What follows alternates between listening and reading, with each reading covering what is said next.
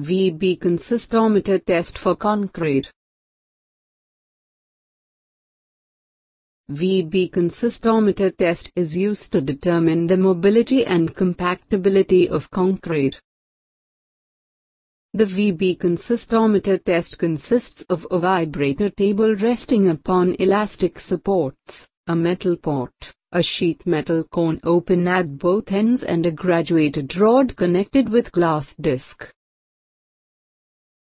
The entire setup is shown on the screen, for dimensions of the various shapes are designed based on the IS 11991959.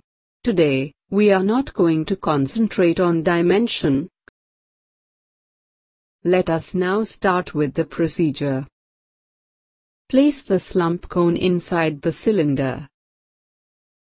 Now, fill the concrete in four layers. Each concrete is one-fourth of cone height and tamper the surface 25 times. Once filled, struck off the excess concrete. Move the glass disc attached to the swivel arm and place it on the slump cone such that it touches the top of the concrete level. Note down the reading in the graduated rod. Next, Remove the cylindrical cone by raising the cone slowly in the vertical direction. Again, place the glass disc and determine the reading. Now, switch on the electrical vibrator and at the same time switch on the stopwatch. The concrete will start to spread in the cylinder container.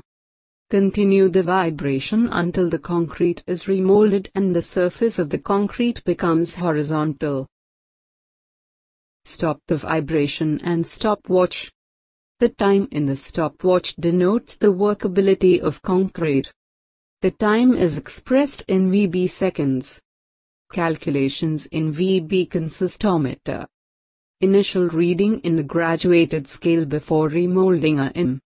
Final reading in the graduated scale after remolding BIM. Slump value is equal to a minus PM and the consistency of the concrete is measured in VB seconds. The workability conditions with respect to VB time are displayed on the screen. Thank you for watching. Stay tuned. The best is yet to come. Kindly do like, share, comment your views and finally don't forget to subscribe our channel.